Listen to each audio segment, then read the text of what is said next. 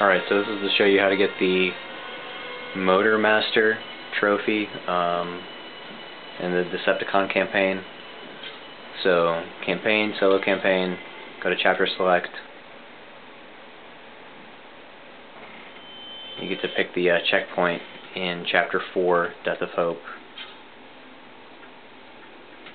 You're going to pick Guardian of the Bridge. Then you have to use uh, Soundwave for this because of his vehicle ability. As soon as you start, you, you need to uh, turn into a vehicle, into a car, and then use your boost.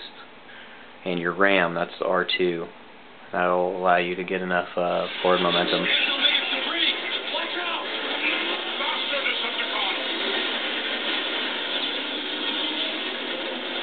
Make sure to keep dibs on the uh, recharge rate.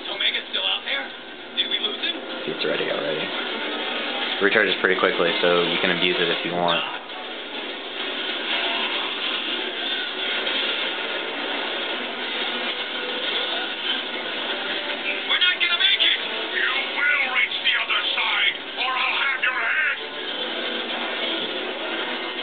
Just hold down L1 the entire time.